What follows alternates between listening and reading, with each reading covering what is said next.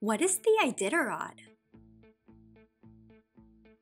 The Iditarod, or the Iditarod Trail Sled Dog Race, is like the ultimate adventure in Alaska.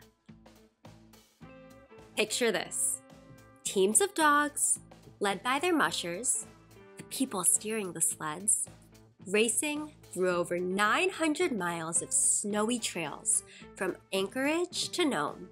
It's an epic challenge with dogs, snow, and a lot of icy excitement.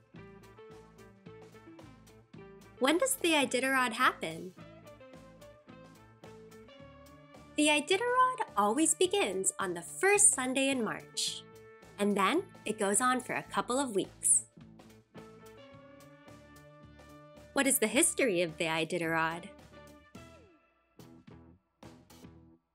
Before the Iditarod, the native peoples of Alaska used dog sleds to get things done in the snow.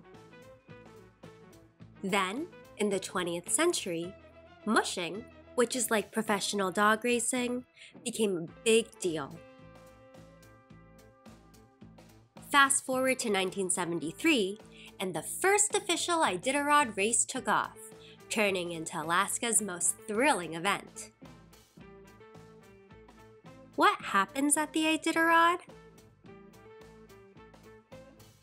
Around 40 to 60 mushers, those are the drivers, zoom through the snowy landscape with their team of 12 to 14 dogs.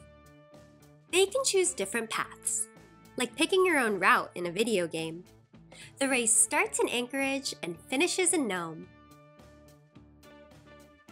The winner snags a golden harness for their dogs and some prize money. Plus, there's a special award for Rookie of the Year, given to someone doing the race for the first time. That's all for now. For more information and resources related to the Iditarod, head to twinkl.com.